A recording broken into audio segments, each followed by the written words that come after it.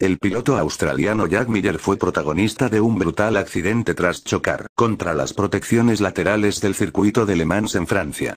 Como se sabe el corredor de motos del equipo Estrella Galicia, se encontraba realizando una de sus mejores actuaciones en lo que iba en la temporada, pero tuvo un terrible accidente que preocupó a los miles de presentes. the barrier on an angle. If you just look at the front tyre, look, just as he starts to pick it up on his knee, it just goes there. Oh, look at that. that's a great, great and then it picks it up. Look, the hand comes off the handlebar, but then it points him in completely the wrong direction onto the grass, which luckily skids the bike Oh. in a certain angle where he ricochets off the barrier and glances it. I can't. If, if that grass had not been there to just put the bike to a certain angle to where he did glance it instead of hitting it straight on, I mean, look at the bike itself.